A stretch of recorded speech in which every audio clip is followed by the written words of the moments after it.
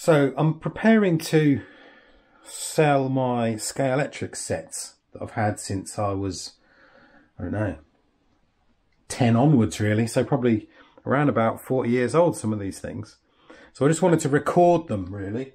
Um, for nostalgia more than anything else and just wondered if somebody else would like to see them as well. So I'm going to go through the cars first, um, probably in order that I actually got them, if I can remember correctly. Uh, and then I'll move on to some accessories and then on to some sets as well. And other bits and bobs. So this was the first mini set I ever had. Uh, a Rallycross mini set with the uh, bank curves along the bottom here. Uh, two cars, a red and yellow one, and a checkerboard start line and some edging around here as well. Uh, so that was the first set I ever had and I've managed to find, I've still got that set, uh, not the box or anything like that, but I've still got the parts and everything else. Just missing the yellow uh, Mini, but I still do have the red one. Um, the red one is still here. It's not in bad condition really. It's had a few extra kind of transfers put on it. Um, it's lost the registration plate on the front here. Um, but otherwise, it's not in bad condition really. So that was the kind of first set I ever had, and then I kind of just added to them after that, to be honest. So the next set, the next cars that I then had, I remember having um, a Porsche here. Uh, this Porsche was, well, it's been heavily used really. It didn't have light up lights at the time, but these were just extra stickers that I seem to have adorned on it, really. Um, obviously no magnets on the bottom on this early stage to hold it on the track. Um, a really kind of noisy, crazy uh, Porsche, to be honest. So that was the next one that I had. And then after that was the time of the TR7. And my dad actually had a TR7. I can't remember what colour it was. A C130. This is Triumph TR7 still in the box. Um, this was bought around the same time as the actual uh, Porsche that you just saw number six on the side of this. It's had a few extra Texaco stickers put on the roof by the looks of it. Um, still in pretty good condition to be honest for the age. Um, used to use this quite a lot. Again, no magnets or anything on the bottom. Um, pretty noisy and uh, hard to control car these days on the track, I must admit. Um, and then after that one, Wow, one of the early ones I do remember, and this is still in the original case actually.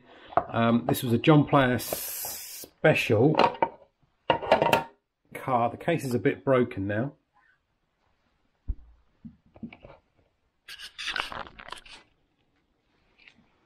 So this is the car. This was brilliant. I mean, the speed of this and the way it's stuck to the track. Um, it's all here as well. There's no missing parts on it. Still works. Uh, really nice car that was. Um, John Player Special. Didn't really get into the Formula One stuff.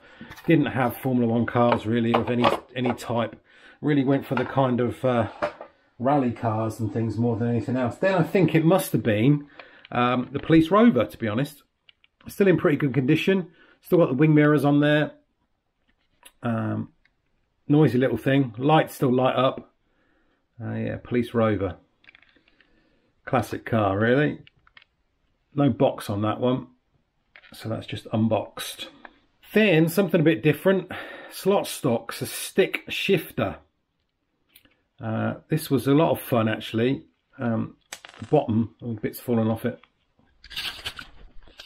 The bottom um, would spin round, the bottom rotates around so the car would actually do uh, a 180 and go back the other way around if you gave it a little burst of power.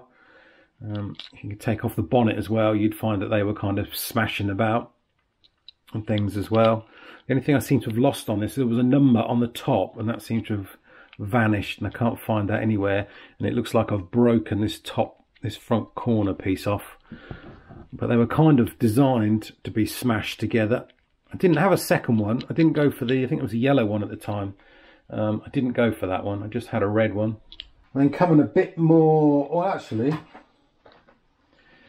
Time for another Porsche actually, boxed.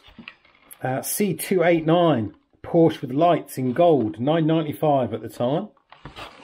Um, this was kind of, because we'd already got one, I think we wanted another Porsche really. Uh, and this one had the light up lights on the front, which still work. Um, it's pretty good condition. No stickers were really put on it at the time. I think it was kind of more my dad's one actually. Um, no magnets on the bottom still, um, but quite a nice example of that Porsche. And coming up a bit more to up to date um, was the BMW. So this is the BMW C571 318i Autosport number 16 uh, in the box. Have I got a price on that one? 19.99. God, it doubled in price from that last box. Uh, yeah, so this was actually, I remember having this on a windowsill for a long time. I think that's why the uh, the wheels might have gone a bit yellowy on this one. And the roof and on the colours. Um, this one has got a magnet line on the bottom to hold it onto the track a bit better. The only disadvantage was there was um the I've just glued this on the back. The actual spoiler on the back was actually had come off. So I've just had to glue that back on. That was a bit of a shame really because I thought it was kind of still pristine in the box. But never mind, that's been fixed.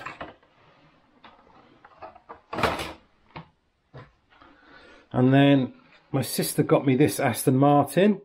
It's got the part of the Top Gear range, I believe. Got the Stig in there driving it, if you can see that. Yeah, Top Gear on the back. Uh, I don't know if it's missing uh, wing mirrors or not, and that was sort of given to me. So I have no idea about that one. And then one, uh, one final car that I have no clue about, uh, really. This one, actually, this is in the box of the Aston Martin. So the Aston Martin should go in that box actually. Uh, we seem to have, well it looks like a, uh, a Daytona race kind of car really from the front. That's all I'm going on. I do not know much about this. Uh, it's quite cheaply made by the feel of it. And there's no magnets on the bottom either. Um, so, yeah, got given that because I did not buy that. Wouldn't be my choice for this one. Maybe you can tell me a bit about that in the comments below. If you know anything about it.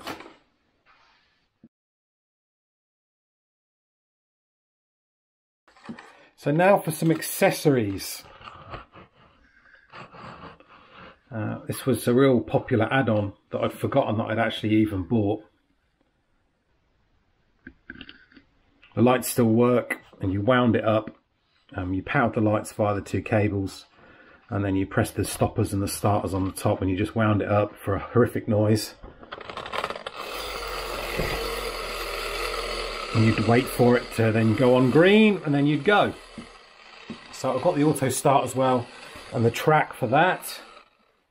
I'll take that out of the way. And then I also found in the box um, the original Shell uh, grandstand, although the one of these has, I think that one's all right actually, that side. This one hasn't. This one, this one is actually um, broken off, which is a bit of a shame again. But otherwise, this is still connected. Um, so yeah, so the original Shell grandstand as well. This is the suitcase that I keep everything in, or did do when it wasn't in a set. So, got various kind of uh, stickers and original things in here. And then this was the, guess you can still buy this, this was to join up the old track type uh, with the circular holes in it with the new track type that kind of slid in. I had to buy that when uh, some to add the old track, or sorry, the new track onto the old track sections. Um, these were edge pieces actually for some part of the track. So if you on a really chicane, tight chicane piece, I remember. So they go with that set. So your wheels would roll over this bit because the lines would be, or the track lines would be on right onto one side.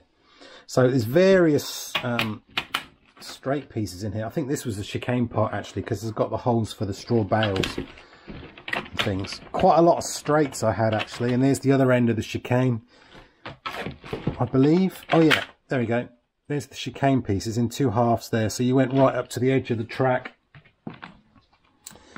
And then uh, that would go alongside there so that your wheels wouldn't just fall off the edge of the track. And there's the other half. Oh, here's the original. Remember the original mini checkerboard plate, start plate? Yeah. That was that part. Oh yeah, this piece. I remember this piece. This was a classic piece. Coming together. Knocking each other off. One in first. Seem to have another powered section for some reason. Oh, and a start area as well. They must have been from one of the sets. Otherwise, just normal edge pieces. And then I would have bought, oh yeah, some more chicane half pieces. Um, and then I would have bought this as well separately. This is pretty nice. Lap counter. I used to use that a lot and go through um, the lap, set it back to zero, just lift the knob and turn to reset. Really simple but it was really nice way of recording how many uh, laps you'd done when you were kind of practicing on your own. Several uh, original controllers, some of them, have, I think one might be faulty, probably the one that's in this original box. Power pack still works, the original power pack, and then there's just lots and lots and lots of um, corner pieces, although these are the original uh, mini banked pieces it used to come off the floor a little bit to give you a bank curve that I remember as well. So that's basically what's in that track box. Now you couldn't escape from and not use Scalextrics without having uh, barriers on and, they, and, the, and the pieces in here they always used to snap off didn't they I mean I must have hundreds in here oh, look here's one with both of them missing um, the bottom feet they never stuck on. But there's quite a few of those in there to be honest as well. And then there's my kind of box of other bits and bobs uh, depending on what sets you had. There were always things like this. Got black ones and grey ones here. These were to raise the track up for kind of flyovers and things. Um, so you kind of put those across the track. And then chicane pieces I'm just going to go through this box of bits, really. Some of those chicane sets had things like that uh, going through. And then you have um, the straw bales, and cones, and all sorts. And then these were some of my favourite things, actually. These were just jumps that you would put in the middle of the track to have your car actually go over. I found them a lot of fun. I did have accessories, one accessory set of actual um, characters as well. Uh, although I would be a bit mad as a, as a, I can't remember what age, I would just paint them. So I've got a woman here and I've painted her just really badly in an enamel paint. Must have had some left over from like an Airfix kit. And I've painted her in kind of red and blue. And I've given that, that guy a blue hat and that guy a red hat. Um, and, and the same again with this guy, which is a bit of a shame really. But I suppose as a kid, you kind of don't think about um, the future. And this guy holding the placard, the number sign, he's gone completely blue. So there you go. So I did have a few accessories.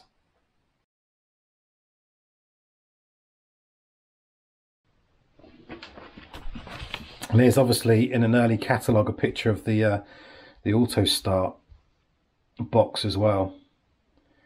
Though I think mine just had an English uh, flag. Oh, sorry, English, Great British flag on the top. It was amazing when you saw the back of some of these catalogues and you saw these like, you know, eight lane uh, eight lane sets. You think, oh god, that would be amazing to put like eight line, eight uh, tracks together. So just having a look through here. Oh, this was another one. Formula One set with a bank curve again and a flyover. Yeah, see that flyover. Here were some of the original cars. Here's the Mini up there. That was actually from the set. And the Escort, very nice. And the Datsun down here as well. Oh look, the John Player Special, but it looks... Is it the same as mine? It looks slightly different to mine, actually. Yeah. Used to love the cars with the double wheels on the back. Oh look, there's the Minis again. I think you had to buy that humpback bridge flyover.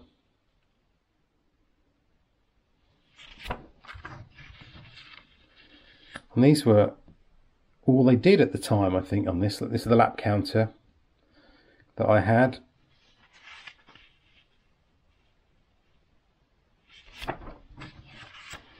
And they used to give you ideas of what tracks you could build up and what you needed to build them up. Still got some of these paper speed and uh, lap count. Look at that one, super speed set. Just two banked curves. Everything's like off the ground, probably with that one. Um, every, everything's tilted on this one. And again, Grand Prix set. I mean, look at that. It's just all banks with a figure eight. And then back to that mini one again.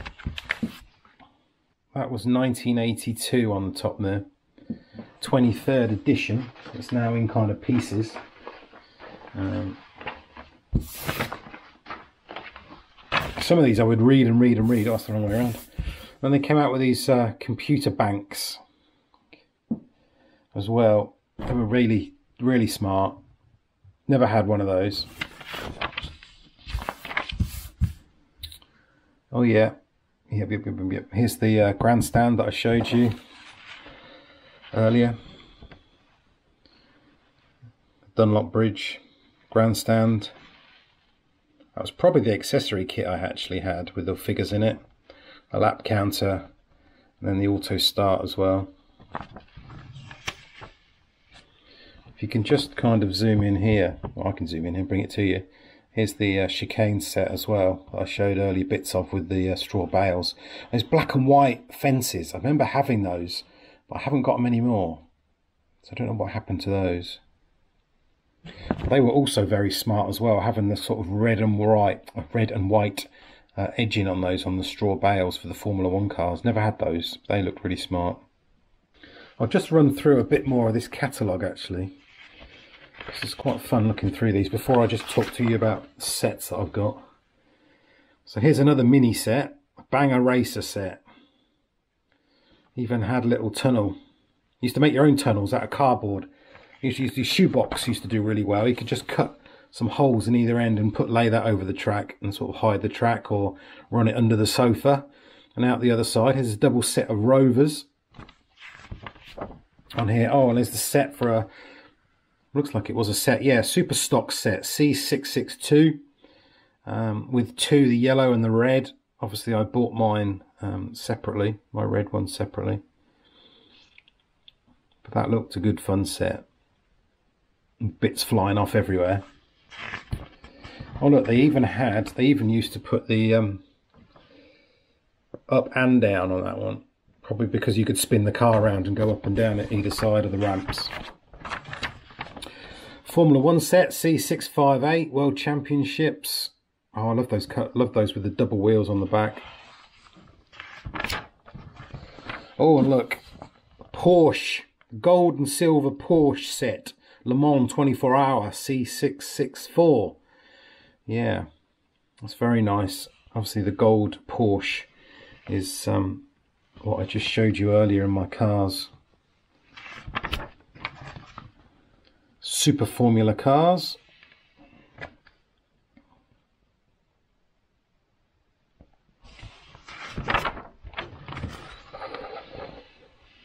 So I wasn't really into the Formula One stuff, but uh, oh, classic Metros, McCain Metro, and the Leyland Metro. Oh look, the boots, the boot opened up as well on that one. And a couple of rovers as well. Triplex.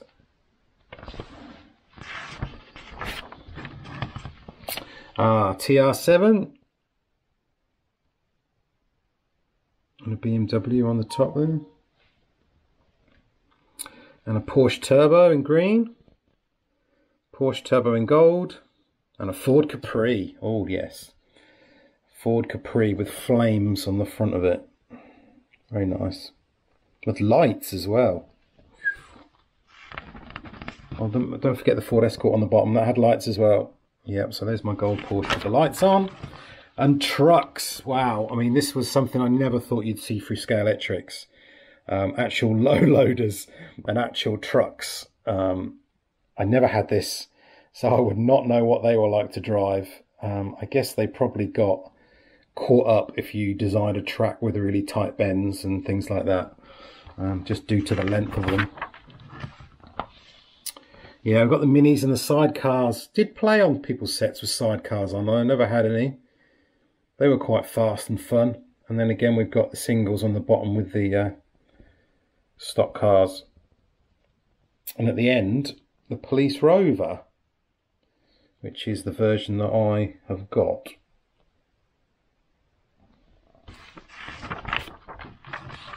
And then pictures of all the cars together on one page.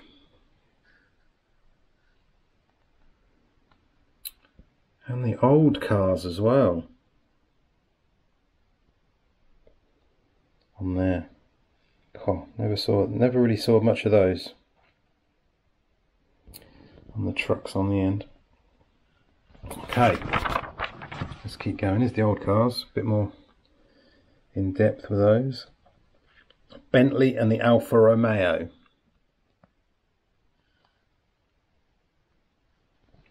Oh, and there's my chicane set there on the left. Again, the green section of grass and the straw bales.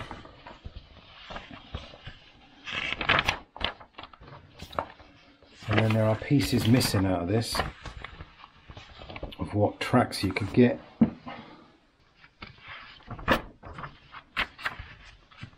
More cars, more of the basic more cars here really with the TR7s and the minis and things.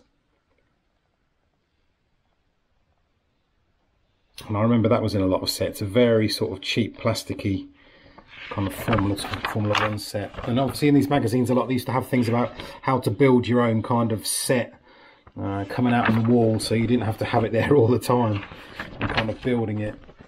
Paper maches and you know, I think that was the accessory set I had. Anyway, I'm going to glance over a lot of this. And there was always track designs in the back that you could build up because you needed some ideas if you couldn't work it out yourself. If you wanted to create classic tracks as well, like Monte Carlo and Brands Hatch tracks and layouts in there as well.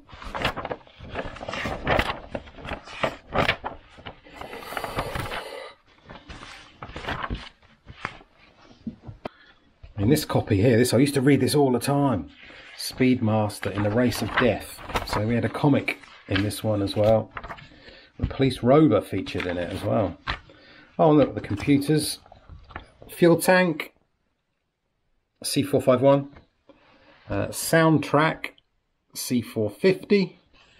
And finally the think tank C452. And you could buy all three of those if you were very lucky. Formula One set.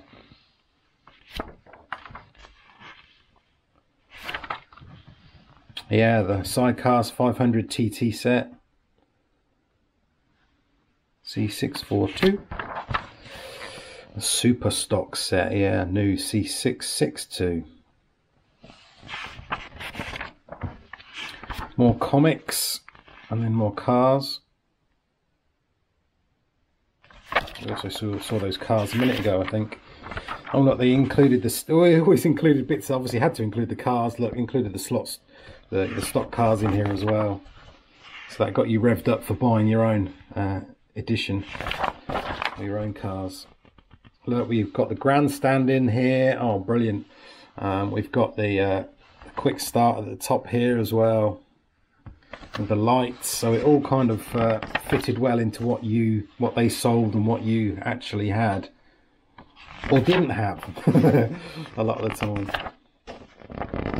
Now the police rover on this one has changed. Obviously there was a, a round light on the top. I wonder if they kind of changed that because my version doesn't have that it just had a, a bit of a newer uh, look to it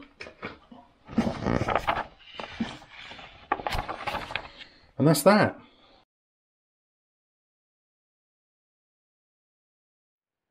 So this was one of the sets that I was given. This was um, my niece's set, I think, so it was well used. And I think there's only one. No, actually, both minis are in here, actually. Um, includes super tough resistant cars, it says here. So tough enough for full impact racing. A blue and a red in a city speed. So let's have a look in here. Get the cellophane off. And then all the bits and bobs. So we've got details about the advanced track system. Um, so the track system was changed in this one to those kind of clips. Six cars on your Scalextrics track. Are you ready? Scalextrics Digital. No, I kind of never was. Um, 2007. Well, this has got lots of things in it. I was really kind of not really... Oh, look, a Range Rover and Countach and all sorts of things in there. But I was not into... a bit older then. Um, and they obviously re-brought out the grandstands and things like that as well. Different track, weird bits and bobs that I never had in that year anyway, in those years. So this is mainly the track, uh, power supply, uh, newer hand controllers, and two minis. The red with like a spider's web on the top, although both are missing their wing mirrors by the looks of it. So they were uh, well bashed and played for, played with expect they were probably one of the first things that oh no that's got one wing mirror. That one's got a wing mirror uh, just not the left hand side where you can see it's kind of been wrenched off um, on that one. But uh, yeah so that's that set. Not much to say about that set really. I probably just used it as um, for spare track more than anything else. Although it has got lots and lots and lots of paper original paperwork with it the next set was a TVR challenge. Now this was my niece's set and I know this because um, one car's missing and one is absolutely trashed. Um, so we've got TVRs in here, a red and a black one. This time it's just a straight lid off the top. There's one piece of track with the uh, edging that's a bit um, broken. I've got some long crisscross pieces. So I'll just have to probably get rid of this with ju as just a set for the track only.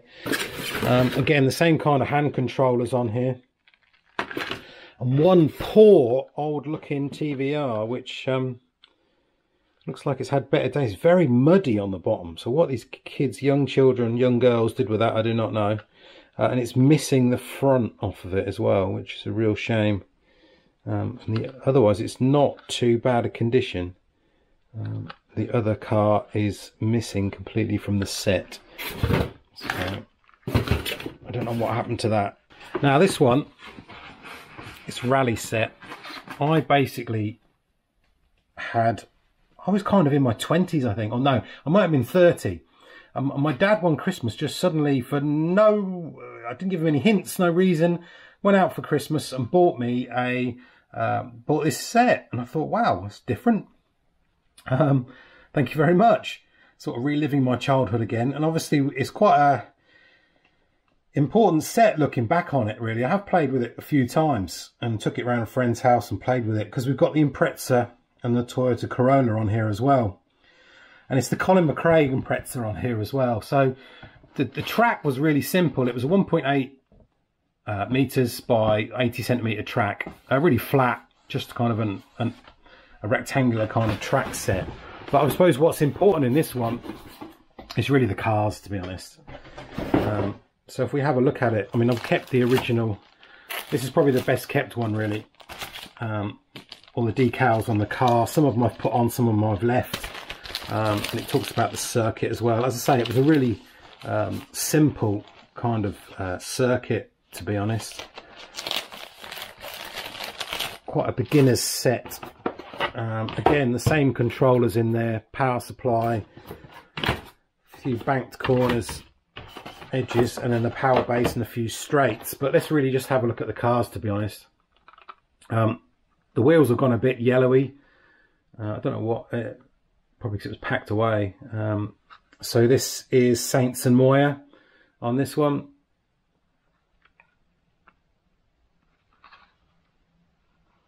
I say this set has been used, but it's not been bashed about or anything out. It's been really well looked after.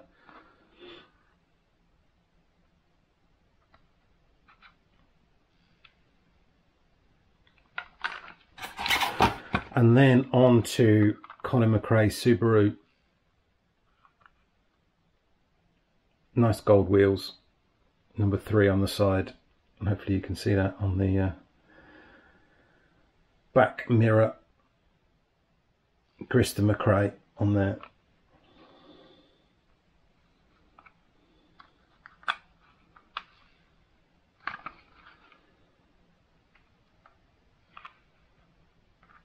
and with the metallic, uh, with the magnet right on the bottom there.